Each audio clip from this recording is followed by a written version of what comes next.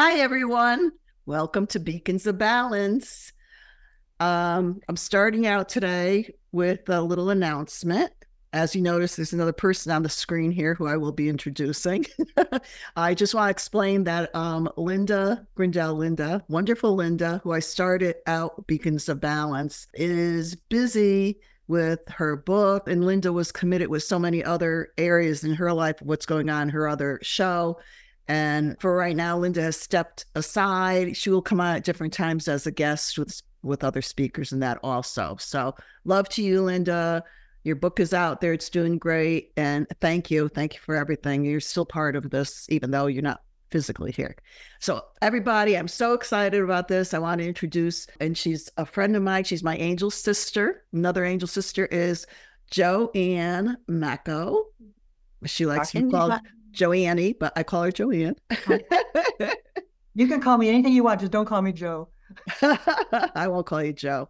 So, okay. um, going back, Beacons of Balance, we're here. I started, this was my kind of germination of a, a, thought that came to me as far as doing it.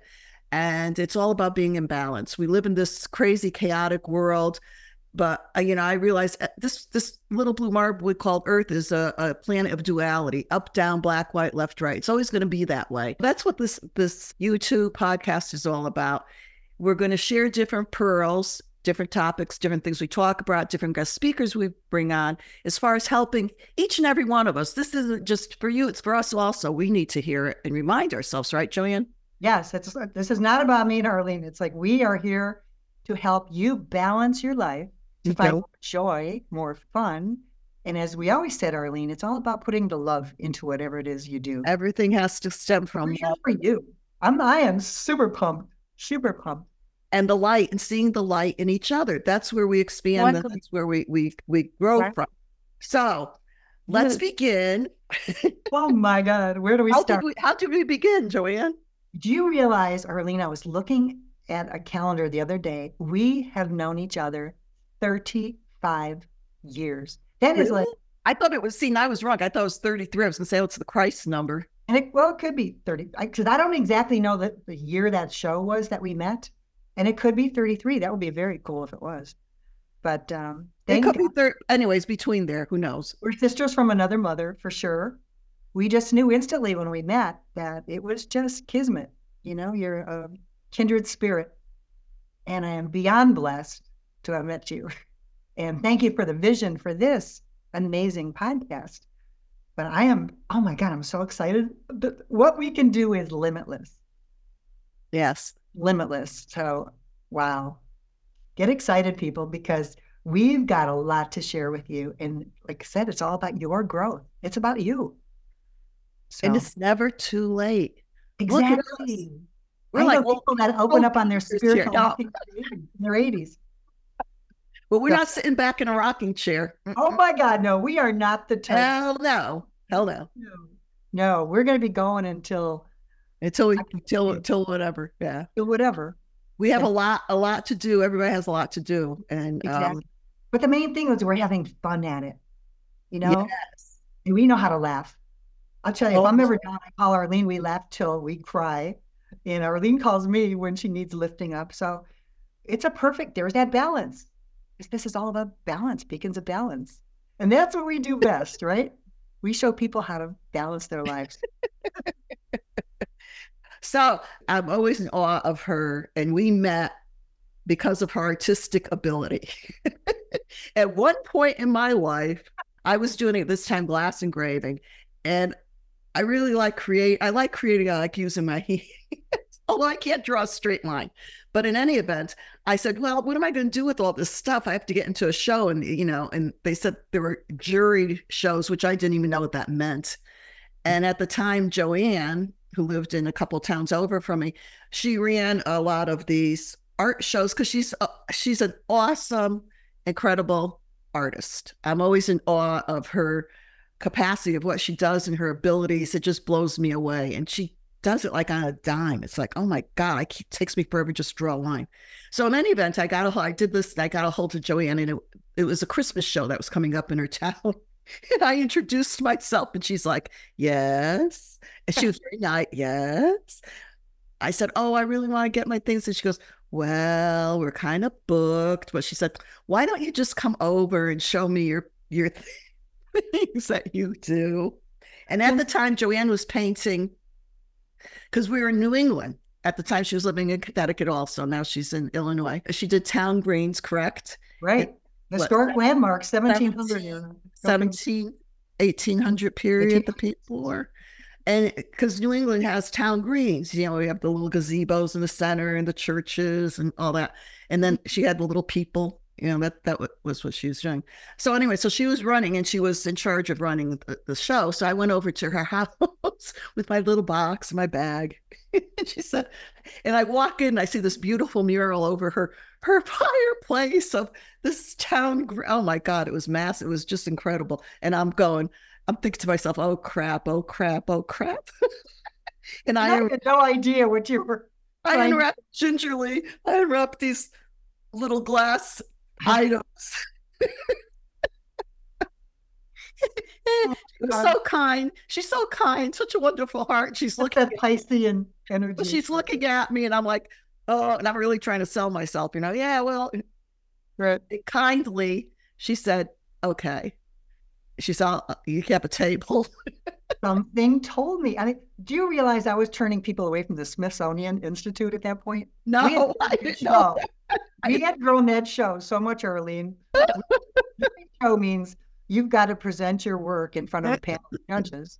And it's like we wanted top notch. That's what I wanted to bring to Connecticut. That was going to be my legacy. And we had gotten to that point because I did that for what, 15 years? And here is Arlene with this cardboard box of little, I don't know, what, where were the Glasses? Like drinking I had, I had vases i had all different things. And it's like i don't know what it was but i didn't I, am there must have been the energy of that day. I can't explain it but i said okay i just can't turn this girl away it was our it was our angels. I, i'm telling you this is a perfect example everybody of when you're supposed to be with a certain person in your life it just they make it happen right? Yeah. That's what happened. I says okay come on in you're in. And then in my table. You put me right across from, and I sold. I actually did sell that day. Yeah, yeah. And I sold. I remember you you try to contact me during the show. I was so busy because people were like they come in from all over the U.S. for that show, and, and said, then we met each other after a mouse in the, in the, ceiling above me, like I could do something. it just from the get go, Arlene.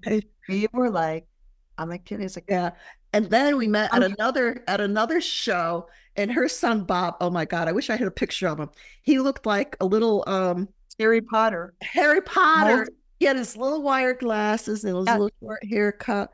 God, how old was he? Nine years old then? Ten? I don't know. He was little, and he, he was, was helping his mom. He was helping Joanne with with the show, and I was at a right. different section. And I was into my angel. I had angel books then a lot. I was reading whatever was out there, and he came over. He goes, excuse me, my mom wants to know what you're reading and could she see that book? I go, sure. And that was it. That was history. That was it. And then that's we, how we. And we went off from there. And then down the road, Arlene opened this most amazing, amazing angel shop. And that was uh that was in Milford Green, right? Yes. Was it Daniel Street? I guess Daniel, yeah. Yep. And I'm telling you, everybody, this shop was the bomb. It's like this is a spiritual place that the energy and love you put into that, Arlene, it attracted people from all over. But it wasn't just selling gifts. You know, it, it wasn't was, about the gifts. It was never about the gifts, but I'm just saying the gifts were amazing there because you and I used to go on all kind of road trips, to buying trips in downtown New York. But Arlene, the where to, the beautiful open heart to make sure it was a safe place that people could come in there and talk about deceased loved ones, angels, anything that could open them up, you know, from the heart space. It was a safe space.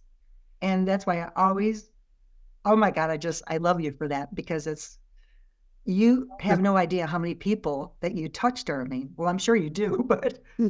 there's more. I'm, I'm, they're showing me there's a lot more than you realize that you yeah. touched. They gave me, you know, at the time, yeah, I started Angel for people don't know, angel writing, automatic writing. We started that. I started with Trudy Griswold. Um, right. Um, my very first message was the key to all the treasures in the world is love. It's love. It's always. All, to unlock all the mysteries is love. And that never left me. So when I was writing, when I was the you know, it came to me to open up the, the store, they said people will come through your doors.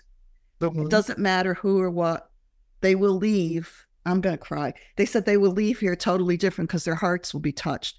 And they did. It wasn't me. It wasn't me. But you I was just a caretaker. sacred space, Art. You held that sacred space. I held the space, but it was, yeah, it was a business, but really what it was, that was the greater good of what it was. Exactly. Exactly. And miracles and things happen.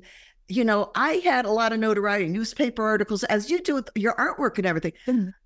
I was so naive. I never did a business before. I thought, oh, well, this happens. No, it didn't. I was in a book, right. you know, with, with, celebrities. It was 50 women, you know. With Susan Sarandon, wasn't it? Susan Sarandon. I was in stage in New York. I'm like, oh, uh, okay, well, you know, naive. I didn't know. you know what? That's the best way because the angels always said if ego ever got in the way of this, yes. everything would be taken from you. It was all orchest. It was all That's what I'm talking about. There's, there's no room for ego in this work. No, right? no. And we have to have fun. We always said if we're not having fun, or we're not doing it. Didn't we always say that? Yeah. So we went on from there, and and Joanne's. Joanne has incredible work and and how her angel. I still have the sketch she sent me, a picture of what happened on her wall in her living room. The light came in, and do you remember it? Was like a line. Had several outline, outline of an angel. Yeah, I had several angel visits, and the messages were that story again. How you were had the order from the shop in Milford. Right, and um, it led me to speak at the United Nations. And if it wasn't for you, Arlene, I would have never. That would have never happened because I literally turned down the invite to have a photo shoot with Madeleine Albright and to present my art down there. And I, I told Arlene, I said, you know what? I just told him I can't make it. you went ballistic. Like, what are you talking about? And thank God for you. It's like, you, uh, you know, that's why I love you so much. It's like, oh, I know mutual admiration society. But anyways, is, but that that sketch that was the very first encounter. Well, not I mean we've had all through our lives, of course, but yep. that was the first where you got a solid mesh message and they told you to drop what you were doing. Remember, exactly. You had that order for like 200 yes. pieces for a shop. Right. And they told me specific things would happen in a very specific order if I just listened to the messages. But, you know, us human beings, we're so busy running here, there, everywhere, and we don't take the time to be still. And when they told me I'd be speaking in front of many nations, I'm like, oh, yeah, right. And fast forward, I'm standing at the United Nations and like I said, you know, I I'll never forget that day you and I were trying to carry an eight foot eight foot high painting in in the city to get into the United Nations building. I mean, we can't make this up, Arlene, right? It's like yeah, that was pretty big. I mean, well, the whole thing was big for you being there, but that piece was a big. That, that was, was, a big piece. you know, I still like. I look at this thing every day. I'm like, how in God's name were two women able to carry an eight foot high painting by four feet wide down these busy streets, let alone nobody. Manhattan, in Manhattan. Remember, nobody would let us park? Yeah. Oh my God. Not that it was heavy, it was just awkward. And then, it, you know, with the canvas, it was like we were walking down, we were like, um, Stanley, Laurel, and Hardy. You had one and I had the other. And then the wind came and it could have billowed up and took us off like in a no, we had balloon. Girl, we have stories. We have stories. Um, and, and there's one's funnier than the next. Exactly. so I so so going back to I mean, Joanne's always there for me. I'm I'm here for her. You know, we're see, we're blessed. We're blessed to have each other. There's so many people out there that are lonely and don't have anyone. And we all have to reach out. You know, the saying goes to have a friend, you have to be a friend. Exactly and sometimes it's getting out of your comfort zone or whatever. But right. when you know when this idea for beacons of balance came along yeah and of course when you start something you know people that don't know but when you start anything and, and then you're coming up okay what's the name going to be? And i'm like oh my god oh my god oh my god i couldn't sleep all night. And then all of a i don't know it just came to me. I saw this thing, like I said, with see your darkness on your light and its choices, and that's the duality and it just came a lighthouse beacons and i saw it see i see creatively visually but then to transpose it the other way and i saw the justice scale and i i said oh my god i called joanne and i said joanne i hate to do because she's so busy i mean she has she also does healing work she has clients her artwork she's writing. She has books out. She has a ch- child's. Um, well, it's not even for children's for everyone really. Um, your your latest one that you're working on, and she's very busy. But I called her as a friend and I said, I hate to do this to you. Just do, I know you're so great and it doesn't have to be anything fancy. It's just, so Joanne says to me, All right. Okay. She goes, Okay. She goes, Okay. Okay. She goes, Send me a sketch. I go, Oh, Jesus. You might, I mean, this is like trying to say, this is trying to send to Picasso a piece of something. That's how I feel about her. I feel Picasso. You know, like, oh no, no. So I just sort of took out a ruler. So she goes, just send me down the idea. I have to, because I have it.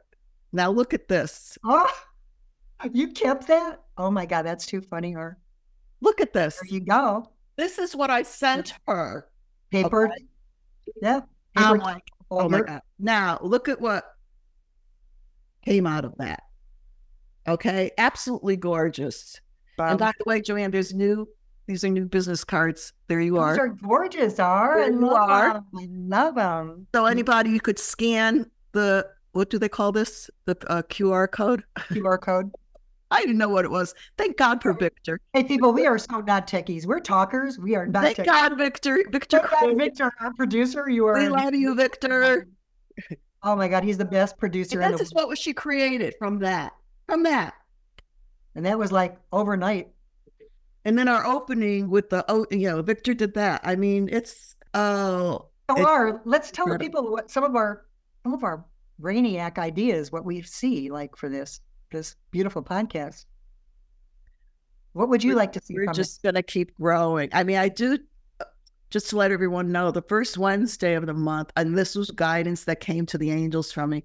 But we need desperately need peace. Oh my God world in our heart for us, for our family, for everyone, the whole entire globe, the whole because it's other universes out there, which is not us. We it's all of us collectively. Right. So they said I used to when I had the shop, I used to do a weekly healing meditation uh, for the world and that. So I do that every Wednesday. That'll be the first Wednesday of the month, and then after that, we have each Wednesday we'll have shows. You know, the yep. episodes. It'll be on YouTube and podcasts. They run half an hour to 40 minutes, sometimes maybe 45, depending, because we know everybody's tied up and busy, you know, don't want to tie up everything. But there's some great guest speakers. Actually, Joanne, if she looks familiar, she was on, I believe it was the March episodes on the near death experience. So she was on the last it was one. around end of March, I believe. End of March, she was on. So if you want to catch that, go back because everything's archived on the website and things will just keep, you know, we're in the beginning stage, so things will be growing. So they'll be sub, you know, subscribe to it. Please subscribe and, and like it. Tell your friends, share it, like it, comment. let us know your ideas because we're open. We want to know what you want because this is just for you. Mm-hmm. So we're open to all kinds. But we've got some amazing guests that I, yeah, we got some great lineups. So it's going to be fun. It's going to be fun. We have a lot of ideas percolating. It's we're just going to keep going with it exactly. as it evolves. And we're you know we're open. We're not like set in stone. Like well, it has to be this way or else it's not going to. You know, we're so laid back. You have to be malleable through this. Exactly. We're very yeah. laid back. But no, there's there's so much we can do. We could be doing readings and and oh, oh my gosh, sketching your guides. You know, last minute and no, there's we've got a lot up here that's our light bulbs are always working, right? And Victor is so creative. Thank God for Victor. We are we are very blessed to have him on board, and he we works are. behind the curtain. So we'll bring yeah. him out from behind that curtain. Victor, you are going to be on this show. Trust us. You cannot stay behind the curtain. You're too good. His energy, his energy is here. Your energy is beautiful, and you're an amazing speaker and a musician. I just heard. Wow, musician and wonderful voice, creative to the nth degree. Yes. So we're bl- we're blessed. You got to meet Bob. Anyways, meet. So anyways, so we're gonna have a fabulous audience. So there you go. That's what it's all about, right? Exactly. So thank God for this. Thank you again, Arlene, for having the vision to oh, do. please. Hey, thank, has to start, everything has to start with a vision, hon. I thank my angels. You know, and I was at a point in my life, you know, getting older and just, you know, kicking back, thinking, "Oh, well, is this it?" And no, we have You know, I knew there yeah. was something. Did you see the two of us retired? No way. I knew there was something, but you know, people still, you know, my shop's gonna be closed over 20, it's gonna be 20 years December that oh, closed. Yeah, I can't, I can't believe it. If people still come up and they still remember and they'll say to me, Are you gonna open up again? Are you gonna do something? We miss you, we miss this, we miss, miss, miss. And I'm yeah. like, oh, I miss it too. I get the same with, you know, not doing light workers. I did that for 25 years and but I, I couldn't, I wouldn't, I mean, could I possibly? Sure, we could do anything. Sure. Do I choose to? No, I don't have, no. Right. And a lot of things changed no. after COVID, or you know that. Yeah. You know, so this is the way. This way we could reach more people. Yes. You know, on a greater scale and still have fun, you know? So, no, so I'm ask all of you out there, the ones that are watching, listening, just to yeah. share it, um, to help us help exactly. us. If you want to help, help us grow. We so. want this to be the best podcast in the entire planet. Yeah, and it can't. Yeah. Yeah. And we need it. It's so needed right now. Look at the shape this world is in right now. And because we're all connected consciously, we're picking up on that imbalance. And that's why this program is so important to bring that balance back. Right, R? You know, it's the funniest thing. And it's kind of like, when you have something and you create and you think about it, I don't know, it was just the circumstance, whatever. Everything I, I, you know, of course, you have something, then you start questioning, am I crazy? Should I be doing this? Maybe I shouldn't be doing this. I don't know what am I doing, blah, blah, blah. It goes your chatter. But then well, I would turn on the TV or read something, and here's actors and different people talking about balance in their life. I kept hearing balance, balance, balance. I kept seeing lighthouses. I'm like, holy crow. Right. And we know spirituality has grown just from geez, I've been here for 26 years from Connecticut. My gosh, when I first moved here at the local bookstore, it was walls and walls of just dark stuff, witchcraft, spells. And now it's all angels and spirituality. And there's no, it's books. true. Yeah, it's true. Because when I opened so, the, shop, that, happened.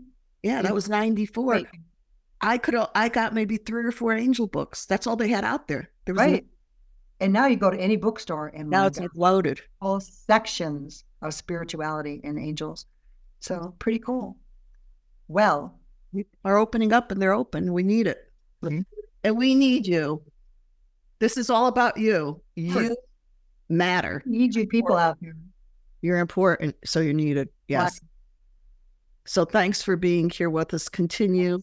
Thank you. Let us and know what you're going to have fun. We are just going to have, you know, I have it's you know we're going to have fun early. Oh yeah. Also going to spread. Hey, when I met when I met Fred, my now current husband, I we met on a dating site. we met the first time, and I said to him, he's sitting across from me, I said, "My middle name is F U," and his eyes went. I go, "It's F U N, And if you're not oh. F U N, I don't want to know you. Goodbye. He's a sweetheart. Oh my God, you married a prince. That boy's a prince. I love. We're, I we're both blessed with our men. You are. All right. Well, you want to wrap this up? Thank you. Yes, we will wrap. It's a wrap. It's a wrap. One way or another. so what would you what would you like to end with? I'm just grateful beyond measure for this amazing podcast that you created. And just stay tuned because let me tell you guys, each one is going to get better and better. I just feel it in my heart.